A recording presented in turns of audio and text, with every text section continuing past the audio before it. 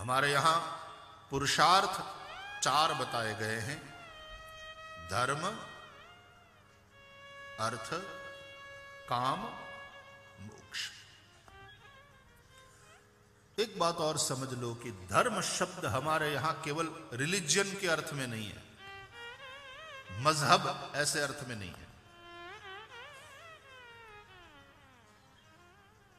धारणात धर्म मित्याहु जो धारण किया जाए और जो धारण करे, सो धर्म है। यानी उन मूल्यों को, उन वैल्यूज़ को धारण किया जाए। उन अच्छाइयों को अपने जीवन में धारण किया जाए। सत्य को, तप को, पवित्रता को, दया, करुणा को। देखो, ये धर्म के चार चरण हैं। सत्य, तप, पवित्रता, दया।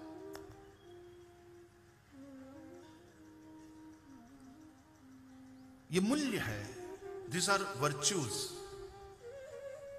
वैल्यूज़ और उन मूल्यों को यदि हम जीवन में धारण करें तो उससे हमारा जीवन भी उन्नत बनता है और हमारे द्वारा औरों का भी भला होता है।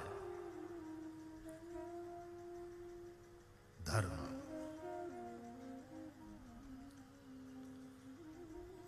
जिसको धारण करने से इहलोक में भी तुम्हारा अभ्युदय होता है, उन्नति, विकास। और परलोक में भी तुम्हारा कल्याण होता है। वो है धर्म। यतो अभ्युदय निश्रेयस सिद्धि ही सधर्म। कितनी यूनिवर्सल डेफिनेशन है ये धर्म की।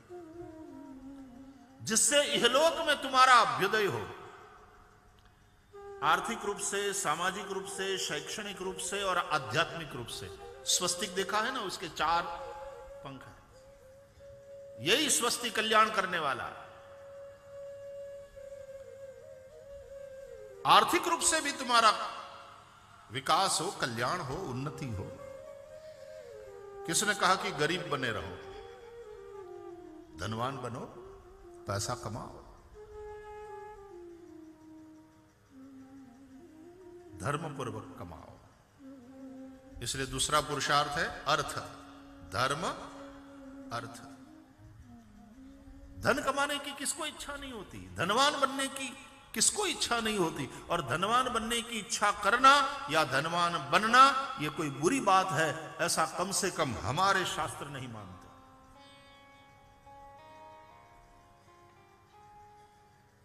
अर्थ की कामना होती है। संस्कृत भाषा में यदि देखें तो पुरुषार्थ शब्द का अर्थ, गुजराती में, हिंदी में तो पुरुषार्थ का मतलब होता है मेहनत। संस्कृत में पुरुषार्थ शब्द का अर्थ किया जाए, पुरुष ही अर्थ्यते इति। यानी जीव मात्र जिसकी इच्छा करते हैं, कामना करते हैं, उसका नाम है पुरुषार्थ। देखो भाई, कुछ बनने की कामना है। बच्चों से पूछो, बेटा, बड़े होकर आप क्या बनोगे? कहता, डॉक्टर बनूँगा, सैनिक बनूँगा, इंजीनियर बनूँगा, क्रिकेटर बनूँगा। तो वो केवल इच्छा करने मात्र से बन जाएगा क्या?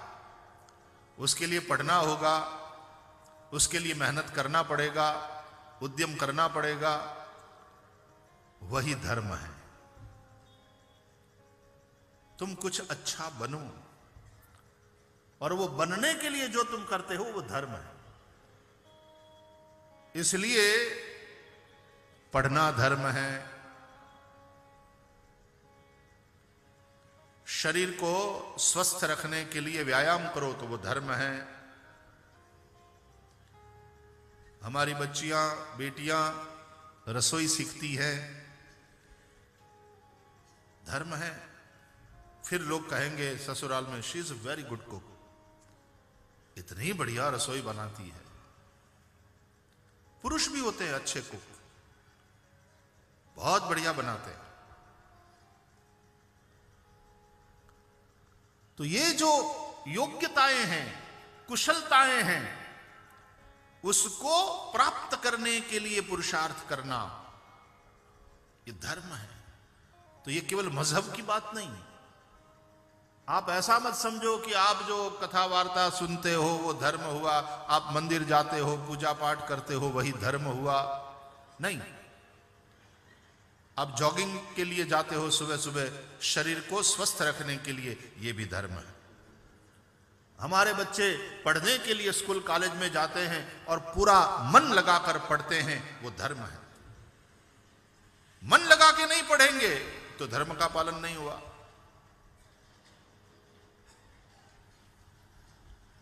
परीक्षाएँ चोरी करके देंगे और पास करेंगे, वो अधर्म हुआ।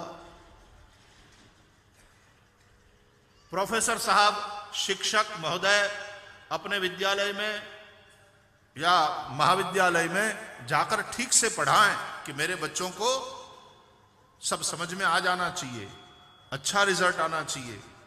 वो उसका धर्म हुआ और बेमन से पढ़ाए पढ़ाए ही नहीं, बहानेबाजी करे। या तो पढ़ाने के स्थान पर अन्य बातों में ही समय बर्बाद करे। वो शिक्षक की ओर से अधर्म हुआ। भैया धर्म अधर्म बहुत सूक्ष्म है। धर्म से तत्व निहितम गुहायाम, इसलिए कहा गया। धर्म क्या है? वो महापुरुषों के जीवन से, उनके चरित्र से समझो। धर्म। कुछ बनना, कुछ बनने की इच्छा। कुछ कमाने की इच्छा। अर्थ। धन चाहिए। जीवन के लिए ज़रूरी है। लेकिन पहला स्थान है धर्म का। धर्म पूर्वक अर्थ कमाओ, धन कमाओ। धर्म बढ़े तो धन बढ़े धन बढ़े तो मन बढ़ जाए। धर्म पूर्वक धन जिसका बढ़ता है और और और और धनवान होता चला जाता है यदि वह धर्म पूर्वक हुआ है तो उसका धन के साथ साथ मन भी बढ़ेगा, यानी उदारता आवेगी जीवन में। देता रहेगा। परमार्थ में खर्च करता रहेगा। और मन बढ़े तो महिमा बढ़े। स्वाभाविक रूप से फिर उसकी महिमा बढ़ेगी। और सब बढ़त बढ़त, बढ़ जाए। फिर से सुनो। धर्म बढ़े तो धन बढ़े धन बढ़े तो मन बढ़ जाए, मन बढ़े तो महिमा बढ़े, वो सब बढ़त बढ़त, बढ़ जाए। और उल्टा भी है, जीवन में यदि धर्म गया, धर्म घटे तो धन घटे, और धन घट, मन घट जाए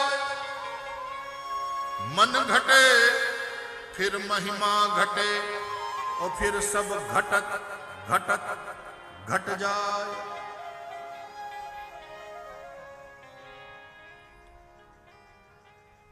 इसलिए सबसे पहला जो महत्वपूर्ण है वो क्या है? धर्म।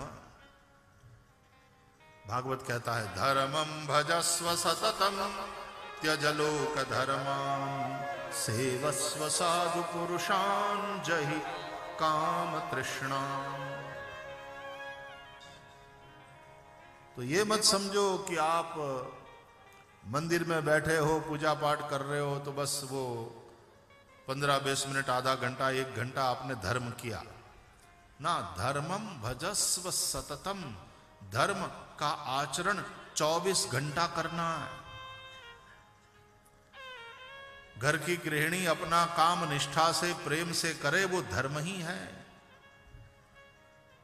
पति दफ्तर गया है, अपना काम ढंग से करे, पूरी निष्ठा से करे, वो धर्म ही है। सरकारी कर्मचारी अपना काम ढंग से करे नियम पूर्वक करे, नागरिक को किस तरह से मैं उपयोगी बनूं, लोगों की सहायता करूँ, और भ्रष्टाचार से मुक्त रहूँ इस तरह से जो देश की सेवा करता है, वो सरकारी कर्मचारी अपने दफ्तर में धर्माचरण ही कर रहा। व्यापारी व्यापार करते समय लाभ सवाया ज़रूर करे, लेकिन बेईमानी न करे, मिलावट वाला सामान न बेचे।